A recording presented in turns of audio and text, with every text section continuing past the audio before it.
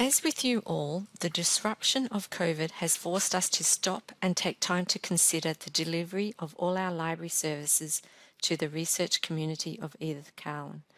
We take guidance from the university's strategic plan and values to shape our services. We hear constantly of the cut in funding opportunities for researchers and new infrastructure, together with organisational and structural changes, which has forced us again to realign and deliver more with less.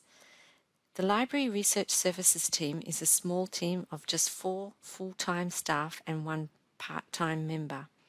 All staff are encouraged to learn more about the research activities across the university so that we can gain a greater understanding of our research needs. We have seen a greater urgency to work a lot more closely with other service centres, sharing knowledge and eliminating the duplication of service. Working relationships, although present, have been fostered with the research governance team to include data management plans and storage requirement information gathered within the ethics approval process, eliminating duplication of work for the researcher, but also allowing us, the library, to be alerted to potential data reuse, data sharing, and ongoing data storage requirements. The research governance team has now also taken responsibility for researcher professional development. The work on developing a professional development framework has enabled library workshops and learning to this group have greater outreach and profile. Management of a central open access fund from the library has allowed us to have meaningful interaction with many of the research staff and to learn a lot of where our researchers are publishing and given opportunity to advocate and educate about open access and open science. Also to work with corporate marketing team to ensure promotional opportunities of the research are explored. Encouraging staff to participate in research opportunities by reintroducing a literature search service does allow a greater level of time management and allocation of tasks but has given additional benefit of building meaningful relationship with research staff and to truly gain understanding of their obstacles and potential areas of research service development. In 2019, a review of the current institutional repository was undertaken. Unfortunately, any funding for the adoption of a new repository with greater functionality is no longer available. This, however, has given new opportunity to work with the provider to enhance the collection display and housing of non-traditional research output. Other members of our team will now also give some insight into the support we deliver. ECU Library Research Services have recently prioritised better highlighting non-traditional research outputs by utilising improved embedding, streaming and download options for audiovisual materials in our repository, Research Online. The options now available in the repository allow the flexibility to accommodate copyright and permissions considerations while highlighting researchers' achievements and sharing them to benefit the wider community. Researchers who produce creative outputs have often expressed that they value the search engine optimization that the repository offers, making their outputs more discoverable. But we're now able to promote the additional benefits of the Research Online dashboards. These were recently expanded to incorporate PlumX metrics, enabling tracking of impact beyond traditional citation metrics. Views, downloads of video and audio materials are recorded, as well as attention on social media, news media, library holdings, captures on Mendeley, and more. The alternative metrics are also useful to early career researchers who produce more traditional outputs as a means of quantifying the impact of recent publications that have not yet been cited. Alternative metrics can be utilised within applications for promotions and grants to highlight recent publications that are already attracting attention and may be cited in the future. They are also a valuable means of identifying successful approaches to publishing. When one researcher was introduced to the PlumX metrics within the dashboard, he recognised that his publications that identified a specific region in the title were gaining less attention than those that didn't. As a result, he's able to make more informed decisions about selecting titles, keywords, and abstracts that emphasise the relevance of the research beyond the immediate region it was performed in, and to be more targeted when selecting journals to submit articles to. Hi, I'm Rebecca. I'm a library technician in the research services team and work within ECU's institutional repository, Research Online. Uh, my job centres around ensuring that ECU affiliated publication metadata and, where possible, a version of the publication are accessible on Research Online. So, Research Online plays a significant role in increasing the accessibility and reach of research and works to promote and increase citation metrics for publications posted on the repository. Um, so, to ensure easy access to the publications in RO, the careful and accurate input of publication metadata is key to my work. Um, this includes grouping publications into correct disciplines, proofing information such as the citations and author details, uh, providing accurate links to access publications and ensuring all necessary information is clearly visible in the publication information page. Um, this ensures the easy retrieval and use of publications and data by users of RO. Uh, the location of publication embargo dates and copyright information is also a vital step in making these publications accessible in RO. Here we determine when or if we may host an author's accepted manuscript version of the publication uh, in our repository, and if any restrictions are applied here by publishers. As the availability of the author's accepted manuscript can be tailored in RO according to embargo restrictions, we can ensure that the maximum amount of permitted content is available for users at any given time in the repository. Uh, finally, when permitted by both the publisher and the authors, we can attach an author's accepted manuscript to the publication listing in RO. So, this final stage involves us reaching out to the authors to request that they may provide their manuscript for inclusion. So, this is really the ideal scenario as it allows free and easy access to the publication, especially if the publication is in a journal where ECU doesn't provide a subscription license. Um, so you can be certain that the readers won't come up against uh, access restrictions such as a paywall, and in turn, this increases the likelihood of the usage of the research and the citation of a work, which uh, in turn affects the citation metrics. Hello, I'm Maureen Colcord, and I um, work for the ECU Library Research Services as well, and I look after the um, ECU thesis. Since 2011, ECU PhD, Masters, and First Class Honours thesis have been made available on open access in PDF format through Research Online, ECU's institutional repository. The whole thesis collection has been digitized and print copies are being returned to their authors where possible. The library also collects the thesis for ECU archives, and students need to provide the library with a complete and modified version of their thesis and a thesis submission for ECU archives and repository form. This form is signed by both the student and the supervisor. We also provide a guidance note on how to fill in the form. The library doesn't receive theses directly from students, nor do students upload their thesis into the repository. Due to the increase of the thesis with publications, the library provides support to the authors regarding copyright issues in their thesis. Also, due to issues of copyright, sensitivity, IP, security, intention to publish, etc., the library has taken a very flexible approach as to how the thesis is made available on Research Online and also on how much of the original thesis is to be made available through the repository. Some of the options available are the option to set an embargo date. This embargo period can be amended if requested the full thesis to be made available on research online on open access. The full thesis is restricted only to current ECU staff and students. They also have the option uh, for portions of the thesis to be made unavailable or the thesis to be totally restricted. When theses include AV audio or video, AV files are no longer embedded in the thesis but are uploaded separately as streaming AV video files.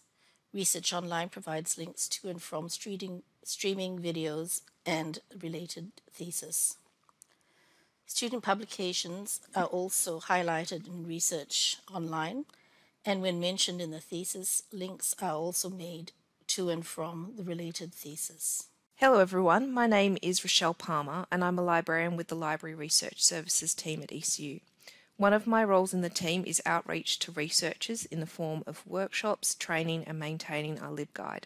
The topics we cover are quite vast and range from data management, using citation databases to locate metrics, articles and journals, and social media for researchers. These sessions are developed based on researcher needs and we remain adaptable in their development and timing.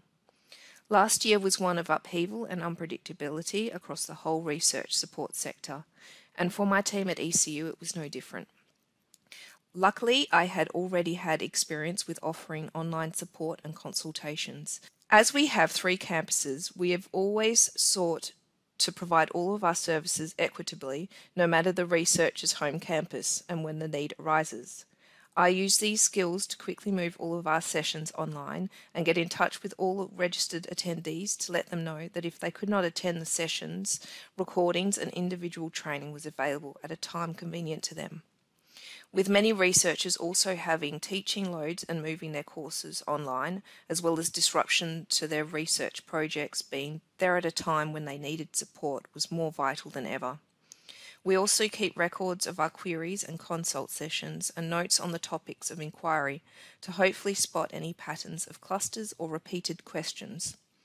We also use this when planning the following year's program of events to ensure that our program meets the timing of events in the academic calendar, such as promotions and grant writing, as well as teaching commitments. We also used this past year to work on a team project to refresh our library guide, the Researcher's Companion, including working with a web designer for a redesign of the look and feel. This has proven to be invaluable to our researchers as they can locate information when they need it. We also use this as our research workshop calendar where both our offerings are listed and the webinars and training from publishing partners and external sources.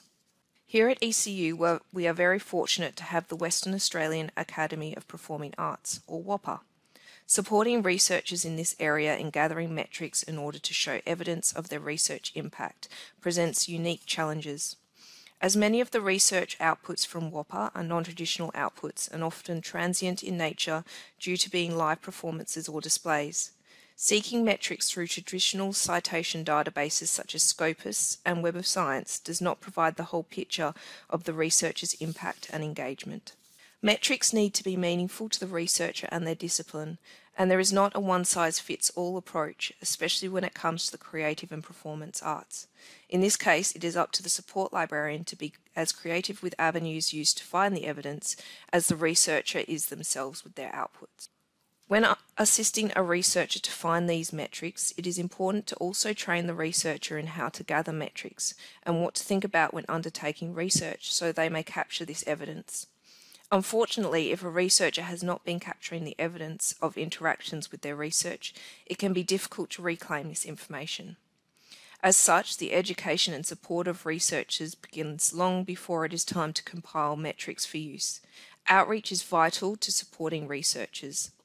The Library Research Services team provides regular training opportunities, workshops, as well as maintaining a LibGuide. Each of these support types are developed according to the needs of our researchers and current trends in research. All researchers should ideally be taking a holistic approach to metrics rather than focusing on a limited range of their scholarly communications. As researchers often have active roles in both traditional and social media and in public to educate and inform the community. Much of their impact and engagement can be lost if the focus is placed squarely on a single citation metric. In the case of the creative arts, and to some extent the arts and humanities, researchers have no choice but to look wider and dig deeper. While services that offer the automatic generation of metrics are an enormous boon, there is much to be said on the benefit of understanding manual metrics. These are metrics that must be gathered manually these often involve some thought and creativity and can provide a rich and comprehensive picture of the researcher. These are valuable in any discipline. The last year has shown the research community the importance of outreach and connection to the community and the role researchers play. There is an increasing interest in researchers being able to demonstrate these activities. Possibly the most important role of support librarian in assisting researchers to gather metrics is knowing the right questions to ask. Today's case study focuses on a researcher from WAAPA who we will refer to as Researcher A. Researcher A is a renowned musician with many outputs, including 20 albums, recordings, and a very active schedule of live performances.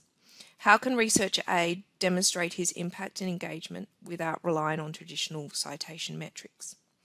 He is seeking to gather metrics to demonstrate evidence of the impact of his work for various purposes. Luckily, Researcher A has been aware of the importance of promotion on the internet. The process of gathering metrics is often a collaborative exercise between the researcher and the support librarian. As in many cases, the librarian will be able to suggest an avenue but will be unable to access the final figure of information, such as in the case with album sales, which would require contacting the publisher. My first step is to go to our institutional repository, Research Online. Here I find a list of his research outputs from his time affiliated with ECU. From here I can view in-depth PlumX metrics and I can see that some of his works have been tweeted about. I can access this information on each of the individual records. I suggest that researcher A log into his Research Online account to access his own personalised dashboard, which includes readership information and the PlumX metrics dashboard. This provides an easy and effective way for researchers to not just gather their alternative metrics through the PlumX service, it can also be used as a way of monitoring the effectiveness of social media strategies. The dashboard also provides the researcher with graphs of downloads and page hits. WorldCat is also a fantastic resource for finding metrics in the creative arts and humanities. Firstly, we can view the number of libraries worldwide that hold his albums. Using WorldCat, we are able to view the albums that have library holdings. Using the refined search facets to the left makes it easier to find just albums. I also suggest that using the facets to search for articles is an effective way of finding reviews and articles that have been written about the creative arts researcher. We can see on this slide a representative sample of some of the reviews that researcher A has received. Overall, he has 115 articles and reviews written about him. This is a fantastic resource for researchers looking to find text-based context for their metrics or for review snippets for self-promotion. Facebook metrics provide information about the number of likes and follows a researcher has, and metrics about the engagement of individual posts, including likes, shares, and comments. All of these are valuable metrics that demonstrates the researcher's engagement in the community. Facebook is also a great way to locate information about previous events and performances for researchers. These should be used in combination with ticket sales numbers from the venue. You can see that Researcher A has a long list of events. It is worth noting that due to the effects of COVID 19, many researchers in the creative arts may have had a break in their live events over 2020. In some cases, they may have had virtual events. Researcher A is highly visible on YouTube, with several channels with different focuses. From here, we can gather information about views, subscribers, and likes, as well as comments. The top number of views for Researcher A is 7.2 thousand.